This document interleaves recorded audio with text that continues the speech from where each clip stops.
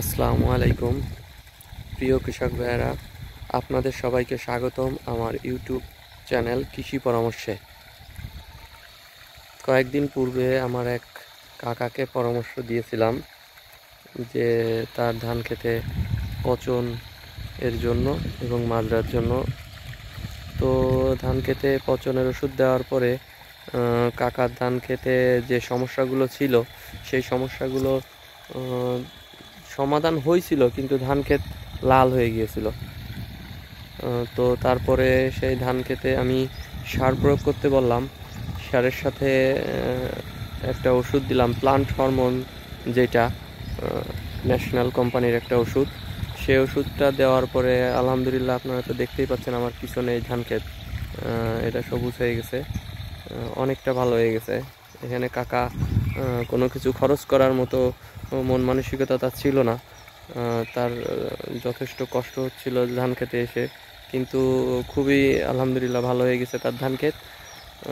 তো এখানে আপনাদের যদি এরকম কোনো সমস্যা থাকে, তাহলে অবশ্যই প্লান্ট হরমোন যেটা শিকড় বর্ধক ন্যাশনাল কোম্পানির এইটা ব্যবহার করতে পারেন।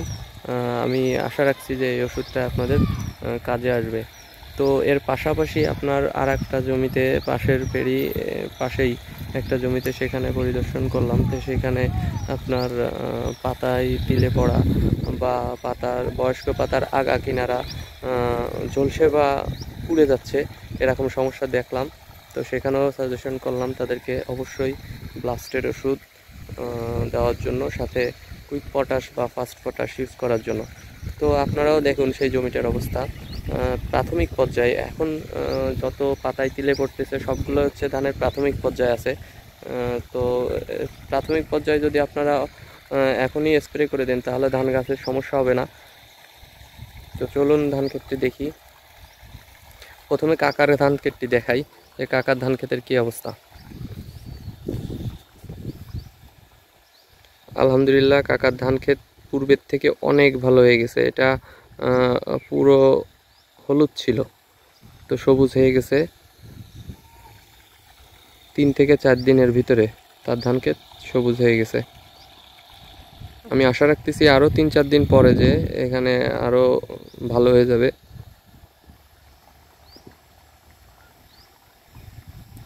তো এই ধান খেতে কী কী সার প্রয়োগ করা হয়েছে সেটা আমি অবশ্যই আপনাদের লিখে দিব এবং কি কি ওষুধ দেওয়া হয়েছে সেটাও লিখে দিব।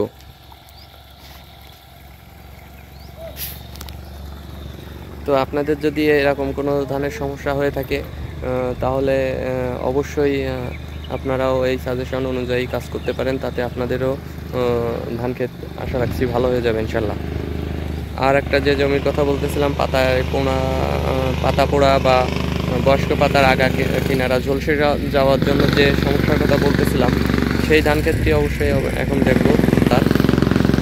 এটা আমার এক দাদার ধান ক্ষেত। এই ধান ক্ষেতটাও আলহামদুলিল্লাহ ভালো।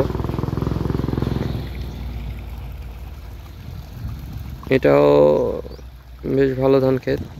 কুশির সংখ্যাও যথেষ্ট ভালো। এটা ধান ক্ষেতের বয়স কত দিন দুই মাস। সেই অনুযায়ী কিন্তু গ্রোথ হয়নি। দুই মাসের অনুযায়ী কিন্তু গ্রোথ হয়নি, দাদা।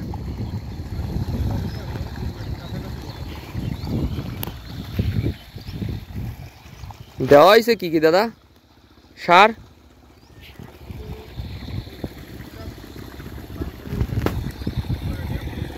গুটি পুতার পরে শুধু ড্যাপ দেওয়া হয়েছে। গন্ধক, সালফার এগুলো দেওয়া হয়নি। ভিটামিন, তাহলে এইটা দিয়ে দিতে হবে এখন। ভিটামিন ওইটা দিয়ে দিতে হবে। গন্ধক, সালফার যেটা ওইটাতে তো ভিটামিন বলা হয়। ওই গন্ধক, সালফার দিতে হবে। আর হচ্ছে সাথে একটু সালফার প্যাকেট যেটা অল্প পরিমাণের। ম্যাগনেশিয়াম সালফার দিয়ে দেওয়া হোক তাতে ইনশাল্লাহ ঠিক হয়ে যাবে না, কারণ ধানের বয়স তো এখন গরম গরম পড়েছে, এখন যদি ধান না পুড়ে যায়, তাহলে তো পরে পুড়লি তো সিটে হবে। আর এই এই যে পাতায় তিলে পড়ার জন্য যে সমস্যা, এর জন্যই তাহলে ওষুধ দিয়ে দেওয়া হোক আগে।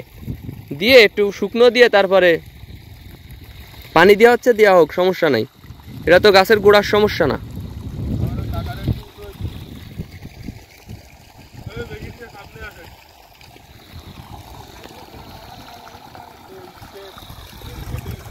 তো চাষি ভাইয়েরা ভিডিওটি যদি ভালো লাগে তাহলে অবশ্যই সাবস্ক্রাইব করবেন এবং এরকম কোনো সমস্যা যদি অন্য চাষিদের থাকে তাহলে ভিডিওটি তাদের কাছে শেয়ার করে দিবেন যাতে তারা উপকৃত হয়। আর অবশ্যই লাইক করবেন।